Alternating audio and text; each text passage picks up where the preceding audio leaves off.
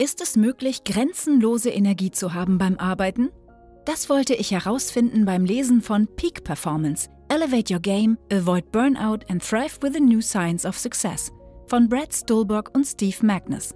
Durch die Arbeit mit Spitzenkräften, Unternehmern und Sportlern haben sie den Code geknackt, wie man Tag für Tag eine gesunde und nachhaltige Leistung erzielt. Ich habe drei Lektionen aus dem Buch. Lass uns loslegen. Lektion 1. Alles beginnt mit einer magischen Gleichung. Stress plus Erholung gleich Wachstum. Diese Gleichung funktioniert für physikalische sowie mentale Ziele. Wenn du wachsen willst, musst du zwischen Phasen von Stress und Phasen von Erholung wechseln. Fordere dich heraus, ein neues Limit zu erreichen, gerade über den Punkt hinaus, an dem es unangenehm wird. Dann, nach dieser stressigen Phase, nimm eine Pause und ruhe dich aus. Es ist hilfreich, sich eher als einen Sprinter anstatt eines Marathonläufers zu sehen. Ein Marathonläufer läuft stundenlang im selben Tempo, bis er ausgelaugt und erschöpft ist. Ein Sprinter läuft intensiv, macht eine Pause und läuft wieder intensiv. Sie sind nie zu müde und immer voller Energie, weil sie sich häufig Pausen gönnen. Sprinter wissen, dass sie durch den Wechsel von Stress und Erholung besser wachsen, als wenn sie versuchen, so schnell wie möglich ohne Pause zu laufen. Aber wie kannst du herausfinden, wie viel Stress die richtige Menge ist? Eine einfache Möglichkeit, Stress in Aktion zu sehen, ist im Fitnessstudio. Wenn du größere Muskeln willst, musst du Gewichte heben. Aber wenn du versuchst, etwas zu heben, das zu schwer ist, wirst du es nicht schaffen, aufgeben oder noch schlimmer, dich verletzen. Wenn du etwas hebst, das zu leicht ist, wirst du keinen Nutzen davon haben. Du könntest den ganzen Tag heben, aber deine Arme werden nicht größer.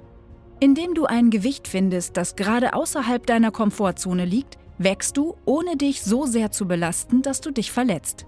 Das sehen wir auch in der Geschäftswelt. Ein neues Unternehmen aufzubauen ist stressige Arbeit. Du musst neue Mitarbeiter einstellen, Produkte entwickeln, Marketingkampagnen durchführen und gleichzeitig genug Geld verdienen, um im Geschäft zu bleiben. Unternehmer können schnell in der Falle stecken, über 60 bis 80 Stunden pro Woche zu arbeiten, wenn sie nicht aufpassen, während sie ihre Startups aufbauen. Das ist zu viel Arbeit. Du kannst nicht dein Bestes geben, wenn du 80 Stunden pro Woche arbeitest. Wie der Weltmeistertrainer für Triathlon Matt Dixon sagt, jeder kann mehr arbeiten, aber es braucht echten Mut, sich auszuruhen. Um grenzenlose Energie zu haben, musst du verstehen, dass Erholung genauso wichtig wie Arbeit ist. Erholung ist nicht Zeitverschwendung oder Nichtstun. Erholung ist ein aktiver Prozess. Es ist der Moment, in dem körperliches und psychologisches Wachstum stattfindet. Dein Körper wächst, während du ruhst und schläfst. In der ersten Stunde nach dem Einschlafen wird dein Körper mit Wachstumshormonen geflutet. Diese Hormone helfen deinen Muskeln und Knochen nach dem Training größer und stärker zu werden. Wenn du nicht genug schläfst und dich von intensivem Training erholst, wird dein Körper zusammenbrechen. Versuche nicht wach zu bleiben, um ein bisschen mehr zu trainieren oder ein paar Stunden mehr zu arbeiten. Setze stattdessen deinen Schlaf an erster Stelle.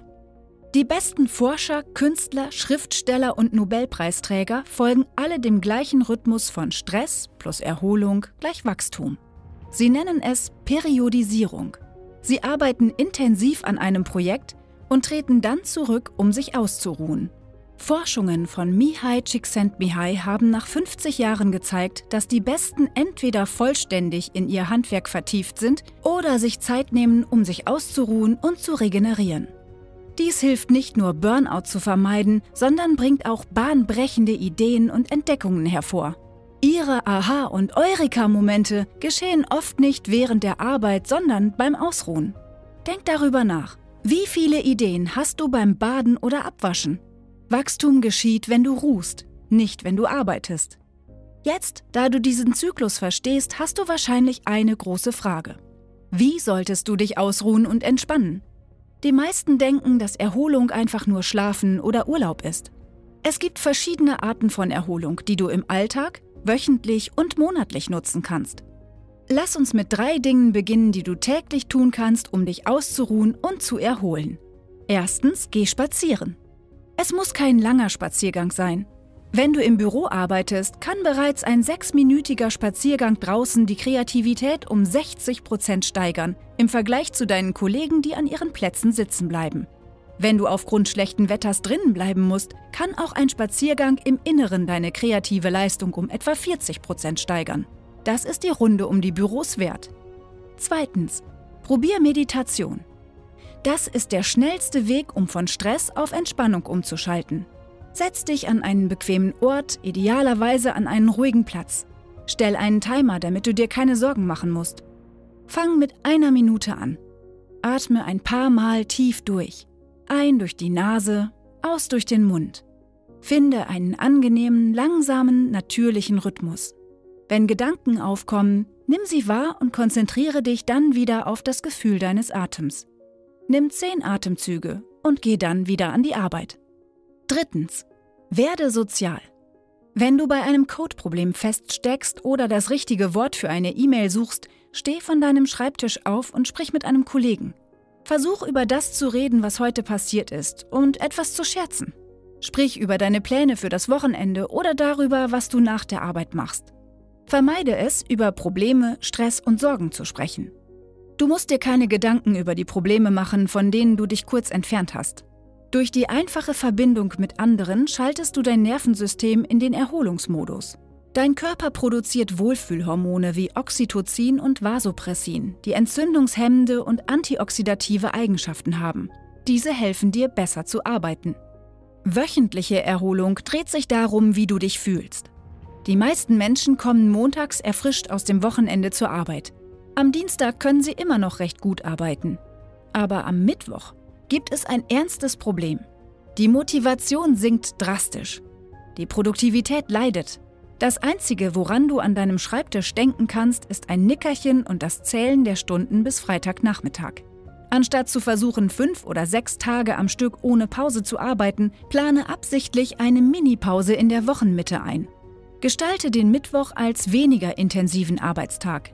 Wenn möglich, schlaf länger und fang später mit der Arbeit an. Plane Meetings, Deadlines und andere Verpflichtungen für Dienstag oder Donnerstag. Nutze diesen Tag, um dich um deinen Körper zu kümmern. Monatliche Erholung. Denk an Urlaub. Fühlt es sich an, als ob du ununterbrochen arbeitest? Fällt es dir schwer, motiviert zu bleiben und deine Arbeit zu erledigen? Du willst morgens nicht aus dem Bett. Du willst nicht zur Arbeit gehen. Vielleicht hast du gar keine Lust, irgendetwas zu tun. Das ist ein Grad von Müdigkeit, der tief in deinen Knochen steckt. Das ist etwas, was mehr Schlaf und ein verlängertes Wochenende nicht beheben können. Wenn du dich so fühlst, brauchst du eine längere Pause. Wenn du mehrere Monate am Stück ohne Pause gearbeitet hast, versuche einen Urlaub zu planen oder zumindest eine Woche freizunehmen. Nun, da wir die verschiedenen Arten der Erholung und Selbstfürsorge besprochen haben, gibt es eine Art von Ruhe, die du jeden Tag brauchst. Um dein Bestes zu geben, musst du auf deinen Schlaf achten. Eines der größten Missverständnisse ist, dass wir Zeit verschwenden, wenn wir ruhen oder schlafen. Aber Schlaf ist eines der produktivsten Dinge, die wir tun können. Wir wachsen nicht im Fitnessstudio oder während der Arbeit an einem Projekt, wir wachsen im Schlaf. Hast du jemals bemerkt, dass in Interviews mit Profisportlern immer wieder erwähnt wird, wie viel sie schlafen? Immer wieder wirst du Fußball- oder Basketballspieler hören, die davon sprechen, acht, neun oder sogar zehn Stunden pro Nacht zu schlafen. Vielleicht denkst du, dass sie super faul sind, weil sie so viel schlafen. Aber die Wahrheit ist, die besten Athleten der Welt setzen Prioritäten beim Schlaf. Nicht zu arbeiten ist echte Arbeit. Lernen, wie man sich ausruht und erholt, ist genauso wichtig wie jede Übung. Wenn du schlafen möchtest wie ein Spitzensportler, gibt es hier Tipps, wie du schneller einschlafen und die Qualität deines Schlafs heute Nacht verbessern kannst. Erstens, denke daran, dass Schlaf produktiv ist. Du verschwendest keine Zeit. Es gibt keinen anderen Ort, an dem du sein musst. Wenn Schlafenszeit ist, versuche nicht noch eine letzte E-Mail zu beantworten oder durch dein Handy zu scrollen. Wenn du dich schläfrig fühlst, bekämpfe es nicht. Alles, was du gerade tust, kann bis morgen warten. Zweitens, dein Bett ist für Schlaf und Sex. Das war's. Die einzige Ausnahme ist, ein Buch zu lesen, um beim Einschlafen zu helfen. Iss nicht im Bett. Schau keinen Fernseher. Nichts anderes. Du möchtest, dass dein Gehirn und Körper wissen, dass es Zeit ist zu schlafen, wenn dein Kopf das Kissen berührt. Drittens. Vermeide vor dem Schlafengehen Sport, Alkohol, blaues Licht und Koffein. Es ist am besten, sechs Stunden vor dem Schlafengehen kein Koffein mehr zu sich zu nehmen und versuche nach dem Abendessen kein intensives Training zu machen. Nun, da du weißt, wie du dich ausruhen kannst, wie bereitest du deinen Körper und Geist auf Höchstleistungen vor? Lektion 2. Höchstleistungen beginnen mit einer Routine. Höchstleistungen sind keine Zufälle. Sie geschehen durch Planung. Um dein Bestes zu geben, musst du es absichtlich tun. Entwickle ein Aufwärmprogramm, schaffe dir einen eigenen Raum und konditioniere dich auf die Leistung. Wenn du im Büro arbeitest, frage dich, wie kann ich meinen Tag so gestalten, dass ich unbegrenzte Energie und Fokus habe? Was kannst du tun, um von dem Moment an, in dem du durch die Tür gehst, bereit zu sein und dein Bestes zu geben? Beginne damit, deine eigene persönliche Routine zu schaffen. Betrachte dich als mentalen Athleten und entwerfe eine schnelle Vorarbeitsroutine, die du ausprobieren kannst. Steh von deinem Stuhl auf und streck dich mit einem großen Strecken in den Himmel. Löse alle steifen Muskeln in deinem Nacken und deinen Schultern. Atme dann ein paar Mal tief durch und beruhige oder zentriere dich. Konzentriere dich auf die Aufgaben, die heute erledigt werden müssen. Schreib drei Aufgaben auf, damit du eine klare Absicht hast, was am wichtigsten ist. Nun, da dein Körper in einem guten Zustand ist, kannst du deinen Kalender oder deine E-Mails nach Meetings oder Deadlines durchsuchen. So gibt es keine Überraschungen.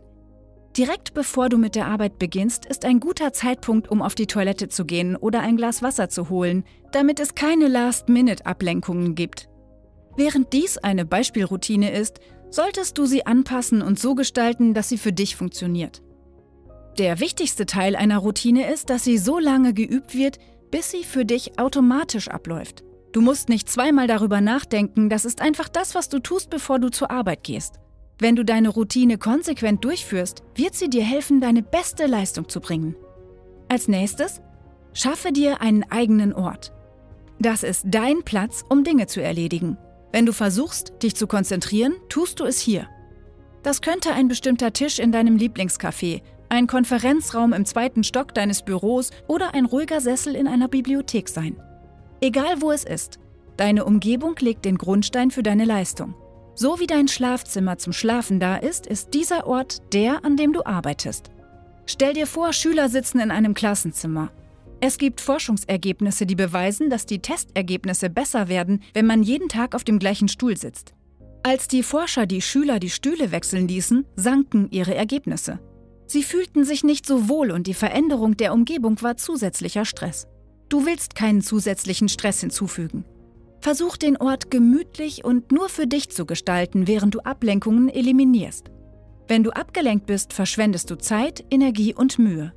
Deine beste Arbeit wird wahrscheinlich nicht am Küchentisch neben der Stromrechnung, dem Abendessen und den Hausaufgaben deines Sohnes erledigt. Indem du dir einen eigenen Platz schaffst, bringst du deinem Gehirn und Körper bei, dass hier gearbeitet wird. Der letzte Schritt, um dich auf Höchstleistungen vorzubereiten, ist die Konditionierung. Autor Stephen King hat eine spezifische Routine und Umgebung, um seine Bücher zu schreiben. Er weiß, dass Inspiration nicht einfach mysteriös auftaucht. Stattdessen weiß er, dass er jeden Tag tausend Wörter schreiben wird. Er wird am gleichen Ort, im gleichen Stuhl, am gleichen Schreibtisch für die gleiche Zeit schreiben. Ohne Ausnahme weiß Steven, dass es Zeit zum Schreiben ist, wenn die Rockmusik von ACDC oder Metallica zu spielen beginnt. Wenn er in diesem Stuhl sitzt, mit dieser Musik, zu dieser Zeit, schreibt er. Zusammenfassend, wenn du dein Bestes geben möchtest, musst du eine Routine aufbauen mit einer spezifischen Umgebung und dich an diese Gewohnheit gewöhnen. Du kannst sogar so weit gehen, deinen Tag um deine Arbeitsroutine zu gestalten. So machst du das. Erstens, gestalte deinen Tag. Denke an all die Entscheidungen, die du an einem Tag triffst. Ich wette, du triffst mindestens fünf Entscheidungen, bevor du morgens zur Arbeit gehst. Erstens, Du wachst auf und musst entscheiden, welche Kleidung du anziehen möchtest. Zweitens, was du zum Frühstück isst. Drittens, was deine Pläne für das Mittagessen sind. Viertens, um welche Uhrzeit du essen wirst. Fünftens, und wie du heute zur Arbeit kommst. Die Wahrheit ist, dass einige dieser Entscheidungen nicht wichtig sind. Sie spielen im Moment nicht wirklich eine Rolle, aber wenn du jeden Tag entscheiden musst, was du tun möchtest, summieren sich diese kleinen Entscheidungen. Du verbrauchst Energie, Willenskraft und Fokus, bevor du überhaupt die Bürotür betrittst. Anstatt kleine Entscheidungen deine begrenzte Energie stehlen zu lassen, wählen manche Leute wie Michael Joyner, ein preisgekrönter Arzt der Mayo Klinik, die kleinen Entscheidungen zu eliminieren. Er konzentriert sich auf das, was ihm wichtig ist und plant seinen Tag um seine Forschung und seine Familie. Das bedeutet, dass er ein vorgepacktes Mittagessen hat und Tag für Tag ähnliche Kleidung trägt. Er muss nicht entscheiden, wann er zu Mittag isst. Sein Kalender ist jeden Tag zur gleichen Zeit blockiert. Er hat seinen Morgen automatisiert, sodass er keine Zeit und Energie mit kleinen Entscheidungen verschwenden muss. Indem du deinen Tag bewusst planst, sparst du geistige Energie, weil du dich um diese kleinen Entscheidungen gekümmert hast, die dir Energie rauben können. Zweitens. Passe Aktivitäten an dein Energieniveau an. Bist du ein Morgenmensch oder ein Nachtmensch? Dein Körper hat ein natürliches Muster von hohen und niedrigen Energiephasen, das als Chronotyp bezeichnet wird. Wenn du dein Bestes geben möchtest, solltest du deine anspruchsvollsten Arbeiten erledigen, wenn deine Energie am höchsten ist. Plane kreative oder administrative Aufgaben in den Zeiten, in denen deine Energie niedrig ist. Lerchen sind Morgenmenschen. Sie sind wachsam und voller Energie, sobald die Sonne aufgeht. Wenn du die Morgenstunden liebst, solltest du deine produktivsten Arbeiten sofort erledigen.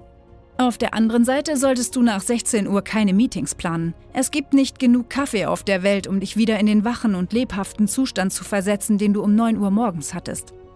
Wenn du am Nachmittag anfängst, müde zu werden, arbeite an administrativen Aufgaben, die ein wenig langweilig sind und nicht geistig anstrengend. So kannst du am Morgen dein Bestes geben und dennoch einige Aufgaben bis zum Ende des Tages erledigen. Eulen sind abends am energetischsten. Wenn du eine Nachteule bist, solltest du keine vielen morgendlichen Meetings planen. Du wirst träge, faul und lethargisch aussehen und dich so fühlen. Dein Gehirn wird bis 11 Uhr oder später nicht richtig funktionieren. Schiebe deine kreativen und fokussierten Arbeiten in die Abendstunden und beginne morgens mit einer langsamen Einarbeitung in die administrativen Aufgaben. Indem du darauf achtest, was dein Chronotyp ist, kannst du die beste Leistung aus deinem Tag herausholen, wenn du dich am besten fühlst. Wenn du anfängst müde zu werden, kannst du zu Aufgaben wechseln, die nicht deine beste Leistung erfordern. Erledige einfach Dinge wie Papierkram und unbeantwortete E-Mails. Jetzt, wo du eine Routine hast, deinen Tag gestaltet und deine Aktivitäten an deinen Chronotyp angepasst hast, gibt es nur noch eines zu tun. Du musst erscheinen. Bevor ich dieses Buch gelesen habe, dachte ich, dass Top-Performer einfach mehr erledigen als alle anderen. Aber was wirklich passiert ist, dass sie einen klaren Plan haben und aktiv werden. Höchstleistungen sind kein Zufall. Top-Performer gestalten ihre Tage strategisch. Sie haben eine Routine. Sie eliminieren Ablenkungen und automatisieren die einfachen Dinge wie die Kleiderwahl und die Essenszeiten. Sie arbeiten, wenn sie am energetischsten sind. Am wichtigsten ist, dass sie erscheinen und die Arbeit erledigen. Wie James Clear, der Autor von Atomic Habits, sagt, die größte Fähigkeit in jedem Bestreben ist, die Arbeit zu erledigen. Nicht die Arbeit, die dir leicht fällt, nicht die Arbeit, die dich gut dastehen lässt, nicht die Arbeit, wenn du dich inspiriert fühlst. Einfach die Arbeit erledigen. Die besten Performer sind konsequent. Sie erscheinen jeden Tag und erledigen die Arbeit immer wieder. Wenn du lernen möchtest, wie du so konsequent sein kannst, Gibt es eine Sache, die du brauchst, um dich zu motivieren, zu erscheinen, dein Bestes zu geben und mit grenzenloser Energie zu arbeiten? Lektion 3. Um Tag für Tag zu erscheinen, musst du einen Zweck finden. Wenn du dein Bestes geben möchtest, musst du eines verstehen. Die wichtigste Aufgabe deines Gehirns ist nicht die Höchstleistung. Es geht um Überleben und darum, Peinlichkeiten zu vermeiden. Das nennt man den zentralen Regulator der Müdigkeit. Stell dir das Gehirn vor, das Nein, Stopp ruft und eine Pfeife bläst. Es ist vorsichtig und möchte nicht, dass du dich verletzt. Die Forschung dahinter beginnt mit einem Wissenschaftler namens Tim Noakes an der Universität Kapstadt. Er ließ Gewichtheber Gewichte mit ihren Beinen heben, bis sie nicht mehr konnten. Als ihre Muskeln nicht mehr reagierten, ließ er elektrischen Strom durch sie fließen. Zu aller Überraschung bewegten sich die Muskeln. Die Gehirne der Gewichtheber sagten nicht mehr, aber ihre Körper konnten weitermachen. Ihre Gehirne schützten den Körper, anstatt ihn bis zur wahren Erschöpfung zu treiben. Das Gehirn sagte nicht mehr, aber der Körper konnte noch weiter. Wie du dein Gehirn überlistest, um mit Motivation und Grit weiterzumachen. Da du jetzt weißt, dass es ein künstliches Limit gibt, kannst du deinen Körper hacken, um in Situationen weiterzumachen, die beängstigend oder überwältigend erscheinen. Wenn dein Gehirn versucht, dich vor dem Scheitern zu schützen, musst du auf etwas Größeres zugreifen. Wenn dein Verstand dir sagt, aufzuhören, kannst du weitermachen, wenn du einen höheren Zweck findest. Ein Beispiel sind Krankenhausreiniger. Es ist kein glamouröser Job, Toiletten zu putzen oder Flure zu wischen. Aber die besten Krankenhausreiniger sahen ihre Arbeit als einen wesentlichen Beitrag zur Gesundheit kranker Patienten. Viele Krankenhäuser schätzen das Reinigungspersonal als Teil des Gesundheits- und Sicherheitsteams, weil ihre Arbeit Leben rettet. Indem sie daran erinnert werden, wie wichtig ihre Arbeit ist, arbeiten diese Krankenhausmitarbeiter mit einem höheren Zweck, als nur Müll zu beseitigen. Ein Zweck kann dich motivieren und dazu bringen, eine bessere Arbeit zu leisten, selbst wenn du versucht bist, nachzulassen. Ein entscheidendes Merkmal von Spitzenleistern ist Ausdauer. Ausdauer bedeutet, dass die Kraft der Leidenschaft dich an langfristigen Zielen arbeiten lässt, auch wenn es schwer wird. Angela Duckworth, eine Forscherin und Psychologin an der Universität von Pennsylvania, fand heraus, dass es eine Wissenschaft hinter dem Erreichen schwieriger Ziele gibt. Es gibt zähe Menschen, die weitermachen, wenn andere aufgeben. Sie schöpfen in schwierigen Zeiten aus einem größeren Zweck für Inspiration und Motivation. Dein größerer Zweck könnte darin bestehen, deiner Familie ein gutes Leben zu bieten, sie zu unterstützen, ihr zu helfen und für sie zu sorgen. Es könnte darin bestehen, schöne Kunst zu schaffen, die Menschen zum Lächeln, Weinen, Lachen bringt und sie einander näher fühlen lässt. Der Zweck des Buches Peak Performance des Autors ist es, Menschen zu helfen herauszufinden, wie sie das Beste aus sich herausholen können auf eine gesunde und nachhaltige Weise und das nächste Burnout, Unzufriedenheit und Unglück zu verhindern. Sie haben das Buch wortwörtlich geschrieben, damit du ein besseres Leben hast. Wenn du einen eigenen Zweck finden und entwickeln möchtest, folge diesen Schritten.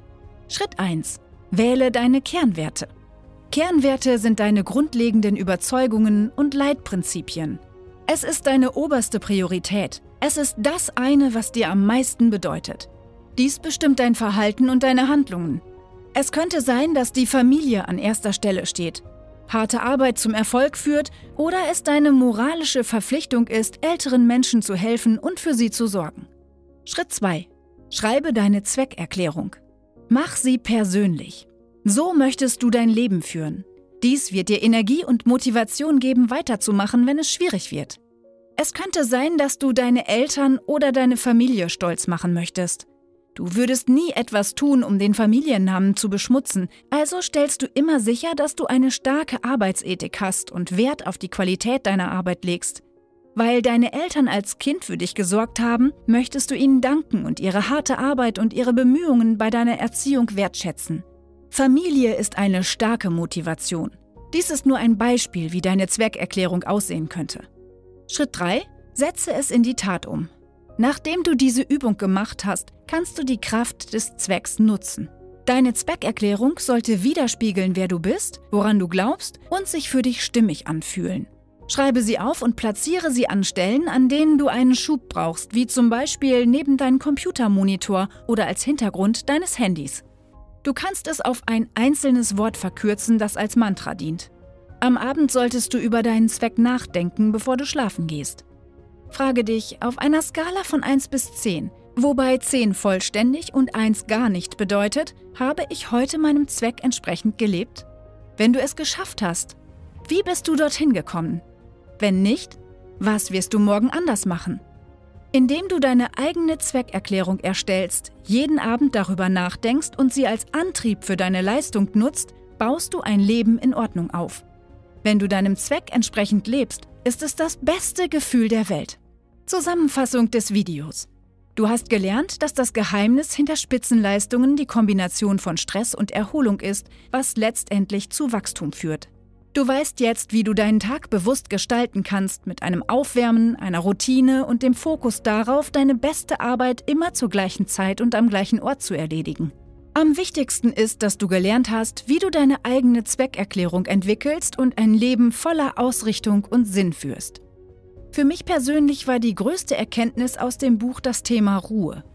Mir wurde klar, dass Nichtarbeiten die eigentliche Arbeit ist und ich es ernster nehmen muss. Vor dem Buch habe ich immer versucht, noch eine weitere Aufgabe unterzubringen, anstatt mich auszuruhen. Oder ich entschied mich, sonntags zu ruhen, plante aber nichts Schönes und fand mich mittags gelangweilt wieder vor dem Computer. Nach dem Buch habe ich damit aufgehört. Das war's für dieses Video. Ich hoffe, du hast ein paar Dinge gelernt, die dir helfen, dich heute ein bisschen zu verbessern. Danke fürs Zusehen und wenn du mehr Buchzusammenfassungen wie diese sehen willst, schau dir die Playlist an, die du jetzt siehst.